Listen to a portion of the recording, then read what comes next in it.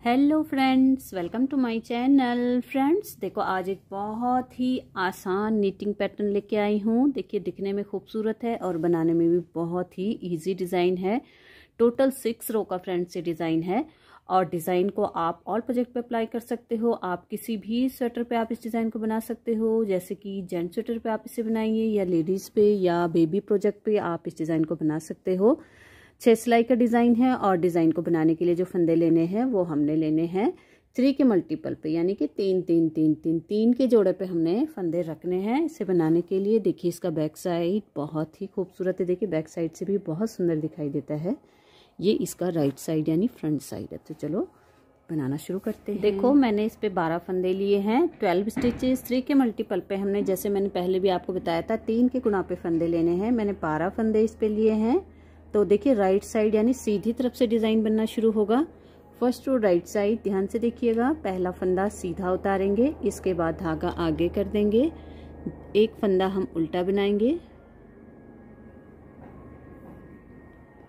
एक फंदा उल्टा बनाएँगे, धागा पीछे करेंगे, दो फंदे सीधे बनाएँगे। देखिए एच के छोड़ के एक सीधा, एक उल्टा और दो सीधे।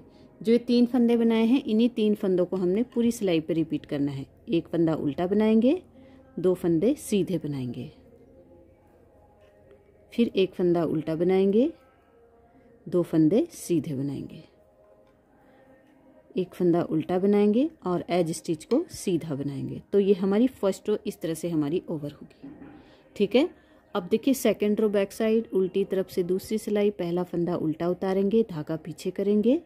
एक फंदा सीधा बनाएँगे और दो फंदे उल्टे बनाएँगे। एक और दो। फिर धागा पीछे करेंगे, एक फंदा सीधा, दो फंदे उल्टे। बैक साइड से हमने इस तरह से बनाना है।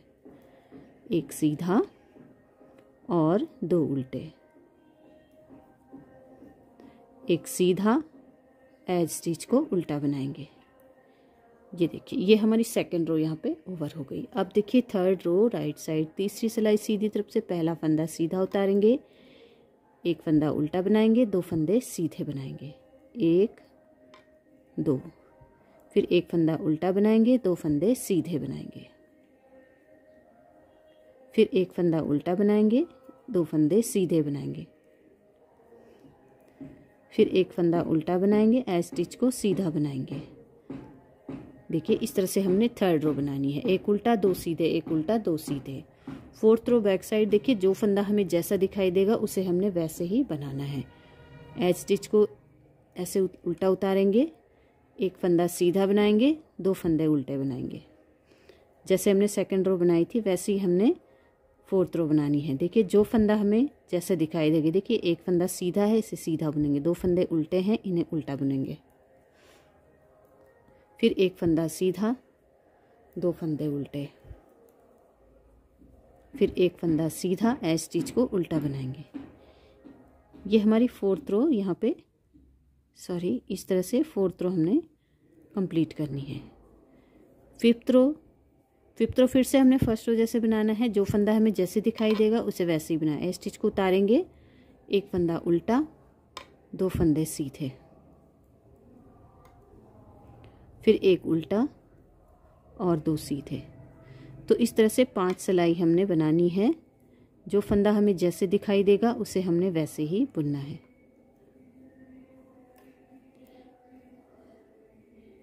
इस तरह से फिफ्थ रो हमारी देखिए कंप्लीट हो गई। सिक्स रो बैक साइड, बहुत आसान है।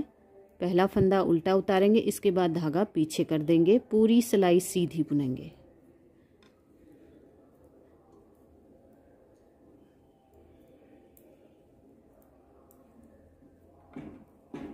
सारे फंदे सीधे बनाने हैं एक एक करके। केवल ए स्टिच उल्टा बनाना है। बस। देखिए, इसी तरह से छह सिलाइयों का टोटल डिज़ाइन है। देखा कितना आसान डिज़ाइन है। फिर से हमने यहाँ से फ़र्स्ट रो लगानी है। जैसे हमने फ़र्स्ट रो बनाई थी, एक ए स्टिच को छोड़ के एक उल्टा, दो सीधे, एक उल्टा, दो सीधे, पूरी। फ़र्स्ट रो से इसे सिक्स रो तक बार बार रिपीट करेंगे तो ये डिज़ाइन देखिए कितना ना खूबसूरत लग रहा है, बनाने में देखा आपने कितना आसान है। आप बार बार इस सिक्स, इन सिक्स रो को रिपीट करिए और ये डिज़ाइन आपका बनता हुआ जाएगा।